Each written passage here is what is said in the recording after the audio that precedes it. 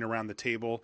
If you do first pick one and the land gets opened, you actually have a decent chance of getting both just because the Hanweir Battlements isn't particularly good. So people are going to be passing it. Um, I don't know. I, I don't know how much weight to put on that because the truth is that we don't really need to. Hanweir Garrison's very good on its own. A 2 3 for 3 is like fine, but if it can attack even just once or twice, you, you're starting to build up quite an army. Yeah, I like this card a lot. Um, I'm pretty. Uh, I lean towards giving it a B or a B plus.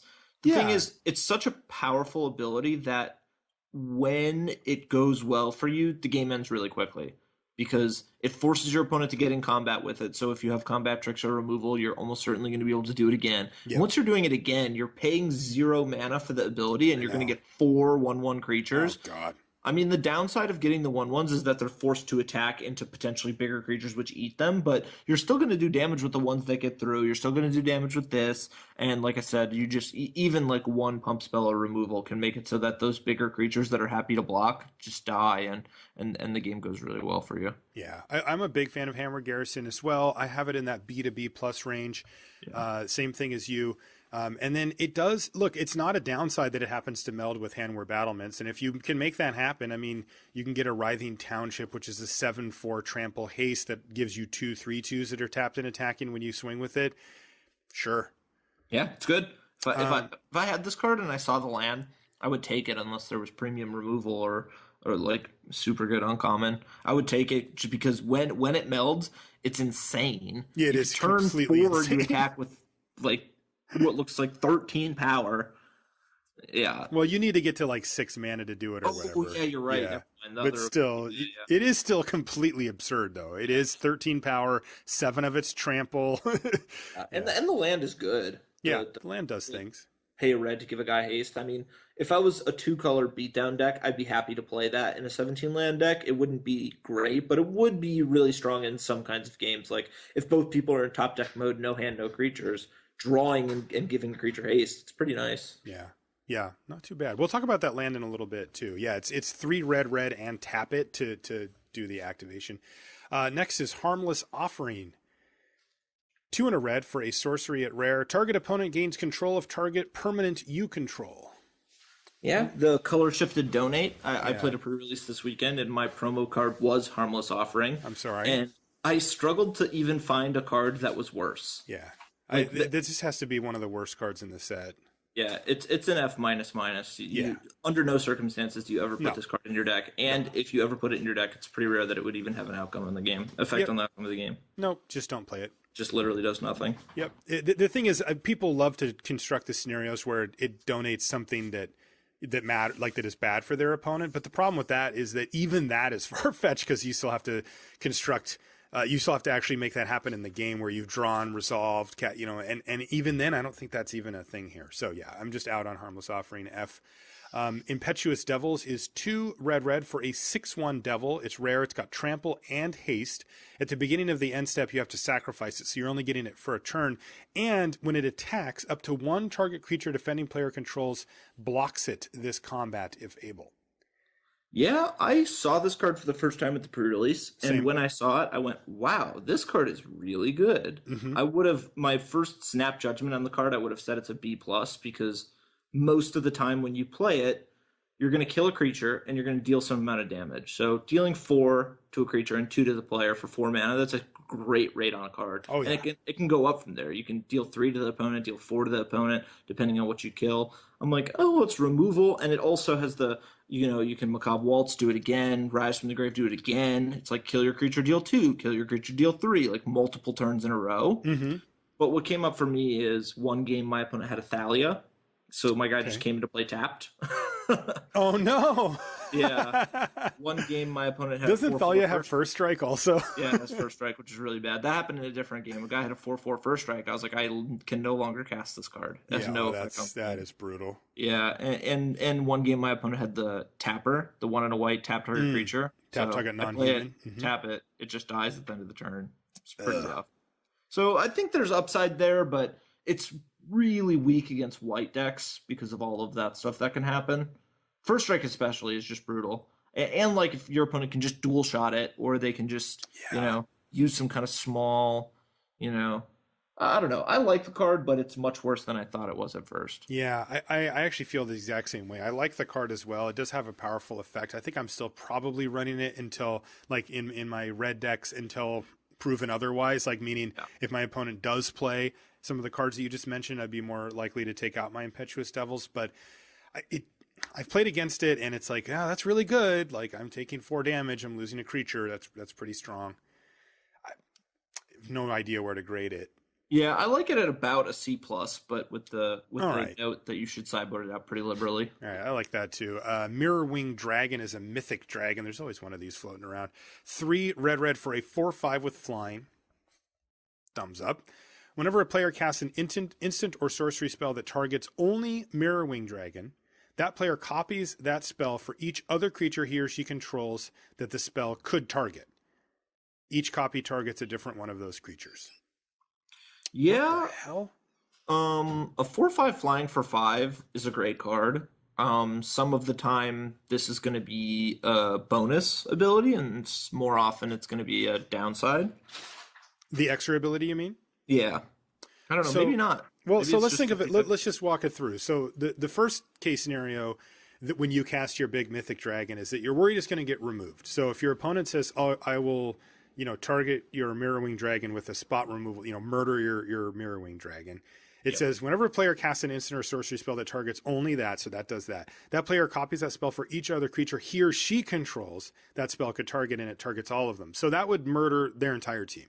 Yeah, if they wanted, if I wanted to murder my opponent's mirror wing dragon, I'd be agreeing to murdering all my own creatures. Okay, so that's that's pretty cool for for the Mirror Wing Dragon player. Yeah. Now, also though, it says whenever a player, so that means me too. So if I have a Mirror Wing Dragon and I say I'd like to cast Giant Growth on it and give it plus three plus three until end of turn, it's also going to target all my other creatures, right? Ye- uh, Player casts an instant or sorcery- Mirror Wing Dragon. That player copies that spell for each other creature he or she controls. That yeah. Yeah, I guess so. I guess it's just mostly upside. Well, but then but then what if my opponent decides that they want to Giant Growth my Mirror Wing Dragon? Yeah, that's that's when you get in trouble. Like yeah, if, they attack with you five attack- things or whatever. yeah, you attack me with your mirror wing dragon, and then on the next turn I grizzly mutation it. All my guys are huge and have lifelink now. Huh. like you you can definitely get burned by playing with this card, but almost all the time I'm red, I'm gonna put this card in my deck just Same. because it's such a good rate. the stats are so good. Yeah, it's it, it's somewhat resilient to removal because of the them getting all their stuff yeah. blown up. Well, I think it's worth it. I think it's definitely worth it. It just means it, it's, there's- it's yeah, not there's there. some There's risk there. some downside here. Yeah. Um, B plus, A minus. Like it's still really good. Yeah, I'm in the B plus B range. I'm pretty averse to p- putting cards in my deck that can have that can contribute to me losing. And this directly. yeah, this definitely does fall in that category. But I think it's just so powerful, you should play it. All right, B plus for Mirror Wing Dragon. Another mythic rare, rare is next. Nahiri's Wrath is two and a red for a sorcery, and it says as an additional cost to cast Nahiri's Wrath, discard X cards. Nahiri's Wrath deals damage equal to the total converted mana cost of the discarded cards to each of up to X target creatures and or planeswalkers. Wow, Yeah, this card is amazing. that's I think It, insane. yeah, I think it's just the best card in the set. oh, really? You think it's that good? Yeah, the thing is, the the cost is so low and the upside is so high. If I just discard one card that costs four mana and two or three lands, I can do four damage to four target creatures. it's just three mana. I discarded a couple of lands and one spell, and I did sixteen damage. oh my god. Yeah, it's just doing so much so quickly. Like you, you almost can't lose when you draw this card because it does so much damage to so many. Cre- like if your opponent's just not playing creatures, okay, it's going to be a little bit worse. But in any normal game of limited, Mm-hmm. yeah, it's just it's just crazy how how strong this card is. That is absurd. Yeah, and for only three mana, that is completely off the charts. I mean, it it it almost reads destroy all your opponent's creatures, right? Yeah. Yep. Yep. You have to have a spell in your hand and and and more than one card that isn't that spell. Wow. But again, anytime it's in your opening hand, you can't fail to meet those requirements. No, And just- as long as you're playing a, na- a game naturally, like you have a couple of lands that you're not playing, you draw this. You're one card away from killing four creatures. You just have to draw a card. Wow. Yeah, the, it's just it's crazy. This card is really powerful. Um, unless I'm forgetting an even stronger card, I think it's actually the best card in the set. All right, Nahiri's Wrath A plus. Yeah, A plus for me. Welcome to the team, Nahiri's Wrath. That is amazing. Uh, Stromkirk Occultist is next. It's two in a red for a 3 2 vampire horror. It's rare. It's got trample. And whenever it deals combat damage to a player, exile the top card of your library. Until end of turn, you may play that card. Uh, of course, you do have to pay any costs, uh, you know, associated with it. It's also got madness for one in a red, which is a nice. Hey, you know, you'll take a madness. Like again, madness isn't the type of ability that makes or breaks a card, generally speaking, but uh, it's a nice to have. It's like sure, it's cheaper too. Madness on this card is much better because of a card like Insolent Neonate. Mm, mm-hmm. Because that's a card that's already pretty good to put in your deck anyways. If you just play at turn one mm-hmm. you, you, attack for like four damage and then later in the game you discard a land which is as if you're not even discarding a card at all and, and it basically just cycles. Yeah. So that's a card that i'm happy to put in my red decks as long as i have a little bit of madness and the madness with this card when you draw both those in your opening hand is very good. Yeah. you can go play it. Turn end of turn you can play this thing even you can just play it and block like a one two or one three. Not that that's going to come up much, but whatever. And then when you hit with this card, it's like an Ophidian or a Scroll Thief. You know, right. you're drawing, and you're it's a Scroll Thief with trample. Cards. Yeah. So no, I like it. Even in the situations when your opponent blocks this with a two two, you deal one damage and get a new card. Yeah, this this card is great. I have it at about a B, only Yeah. because at the end of the day, it is still a three two. Yeah, I, I do too. Though I mean, the thing is, is that every line of text on this card is upside. The vampire, uh, the fact that it's a vampire is minor upside. Madness is upside. Trample on a three-two for three is already fine. And then the ability that when you hit is a good ability. I mean, that is just a good ability. And we're tacking this all onto a card that we would probably include in our deck anyway as a three-two trample for three. So Yep, very Occultist, I like it at B. Very good card. That's it for the red cards, which is going to move us on to green before we circle back to white and then get to our uh, gold and, and colorless cards. Uh, the first green card is Eldritch Evolution. It's one green green for a sorcery at rare. It says as an additional cost to cast Eldritch Evolution, sacrifice a creature. Uh, search your library for a creature card with converted mana cost X or less, where X is 2 plus the sacrifice creature's converted mana cost.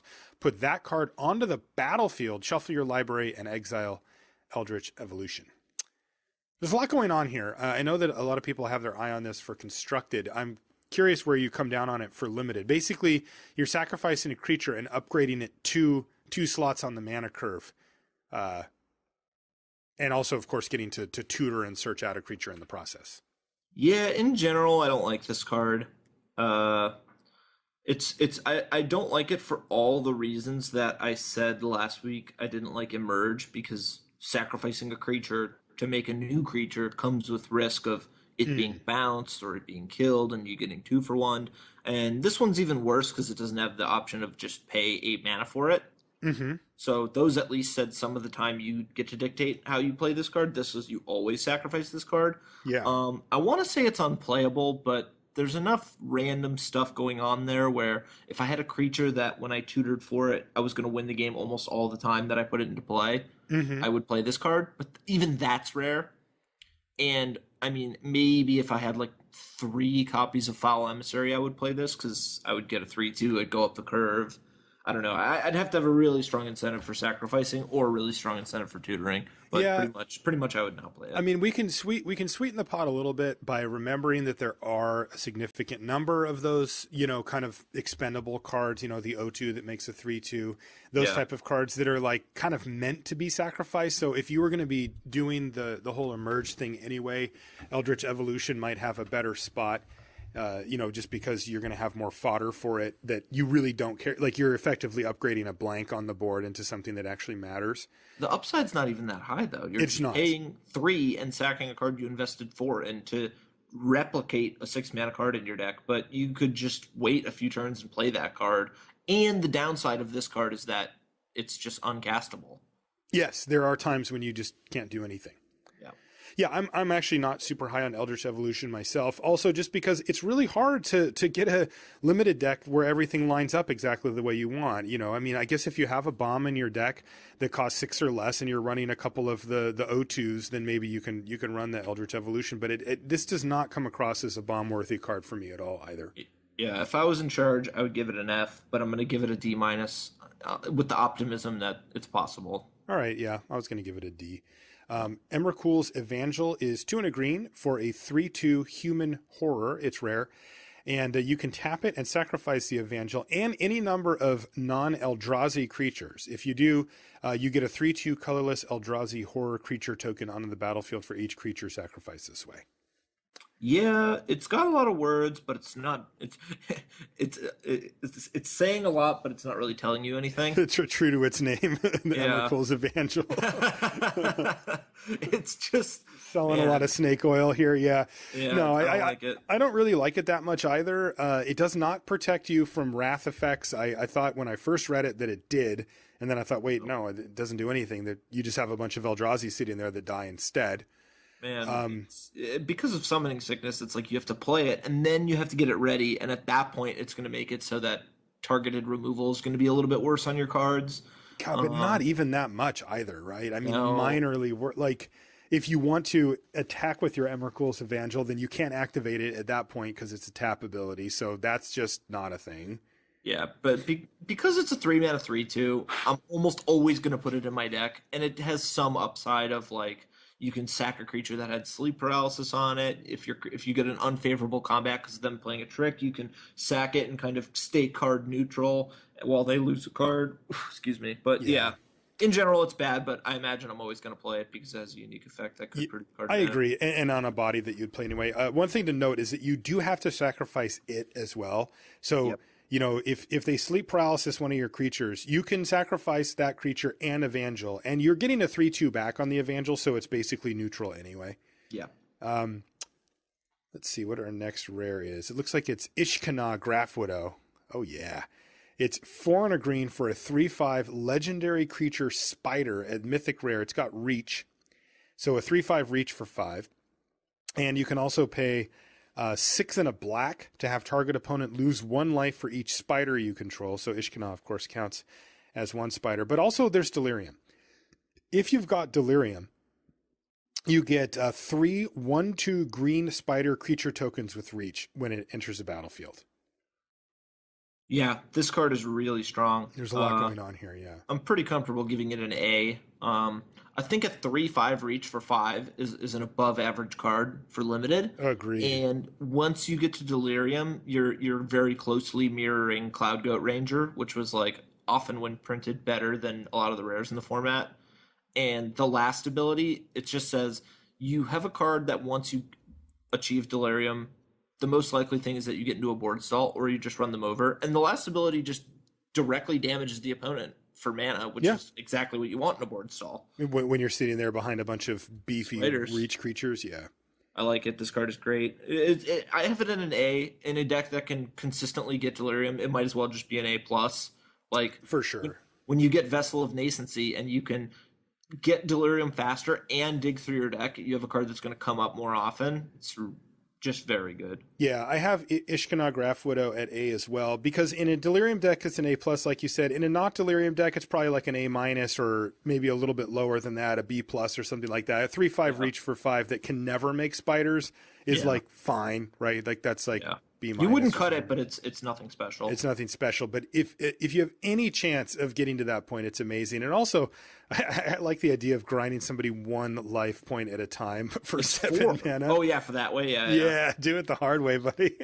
Why not? If you What- got the mana to spare. what a terrible way to lose a game of Magic. Uh, Permeating Mass is next. This is one of the coolest cards I've seen design wise in a while. You know, you and I, Owen, after having played for a long time, have kind of seen a lot of this, right? We're like, oh, I get it. You took that idea and mix it with this idea. And now this one is new to me. I just like, what? It's a, it's a 1 3 for green. It's a spirit. It's called Permeating Mass. It's a, uh, a rare. It says whenever it deals combat damage to a creature, that creature becomes a copy of permeating mass, which then, of course, would deal damage to another creature at some point and turn that also into a copy until everything's just copies of permeating mass everywhere. Yeah, the, the the tough thing about this card is often when it is dealing combat damage to a creature, a creature that you'd want to be turned into permeating mass, it's often just going to kill your creature, Yes. kill your mass. So Is that bad for you? it's not great. I mean, I mean, they now have a stupid permeating mass. It's a one three. you could just chump block a seven seven with it and get Yeah. some kind of mileage. I mean, I think in general it's not a very good card. I would not want to play with it. I probably have it about a D because one mana for a one three is bad, and the ability is significantly and noticeably worse than Death Touch. It, it is. It it, it feels killing- like bad death touch to me. Yeah, instead of killing a creature, you're turning it into a mass, which can be used against you. It can turn one of your creatures into a mass. So I don't know. It, it's playable, but I It's really so weird. yeah. Like- in the end, for me, it's just low power. You're paying one mana for one power, and you're hoping to get favorable combats with it, which may or may not happen.